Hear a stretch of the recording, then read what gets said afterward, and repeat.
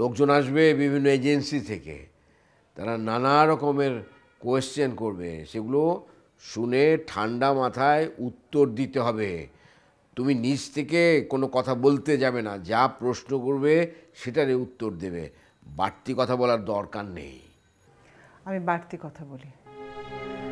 তুমি দয়া করে তোমার মাথাটা একটু ঠান্ডা করো। কাকে কি বলছো? কিছুই তো মনে হয় তোমার ঠিক ঠিকানা নাই। তাই না? আর তুমি নিজে যেই বিষয়টা নিয়ে চিন্তা করতে করতে অসুস্থ হয়ে যাচ্ছ, সেটা একটু মাথায় রেখো। একটু চিন্তা তো হচ্ছেই বই কি। ওই এলাকার বিভিন্ন জায়গায় নাকি খোকন সম্পর্কে জিজ্ঞাসাবাদ করছে, তথ্য জানতে চাচ্ছে। তো আমি সকালবেলা দোকানের লোকগুলোকে বলে এসেছি যে, খোকন সম্পর্কে কেউ যদি কোনো কিছু জিজ্ঞেস করে, তো দয়া করে যেন আমাদের বাড়িটা দেখিয়ে দেয়।